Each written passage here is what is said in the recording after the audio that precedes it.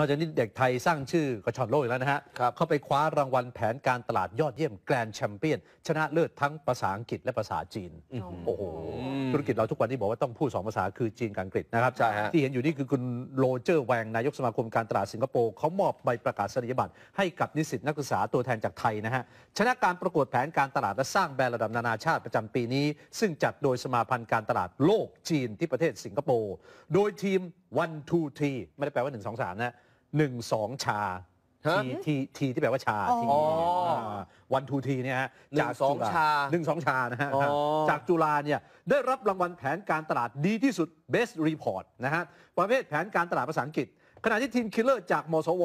ได้รับรางวัลรองชนะเลิศอันดับหนึ่งประเภทแผนการตลาดภาษาอังกฤษ แล้วก็ทีมจัสวินจากมสวเช่นกันได้รับรางวัลชนะเลิศ แผนการตลาดภาคภาษาอังกฤษ และยังคว้ารางวัลชนะเลิศสูงสุดแกรนด์แชมเปี้ยนมาครองอีกต่างหากนะครับ โดยชนะเลิศจากการแข่งขันทั้งภาษาอังกฤษ และยังมีทีมที่เข้าแข่งขันอีกมากมายนะครับซึ่งการแข่งขันตรงนี้มีเวลาเตรียมตัวแค่เดือนเดียวเอง นะฮะและยังต้องเป็นการแข่งขันกับทีมภาษาที่มาจากจีนด้วย แต่ด้วยความพยายามและร่วมแรงร่วมใจที่ก็เลยก้าวข้ามความกดดันและประสบความสำเร็จในที่สุดนะฮะอืมเก่งนะเก่งนะฮะเก่งมาก ชนะทั้งภาษาอังกฤษแล้วก็ภาษาจีนใช่เขาก็บอกว่าต่อไปเนี่ยเหลือแค่สองภาษาในโลกนี้ครับสำหรับอนาคต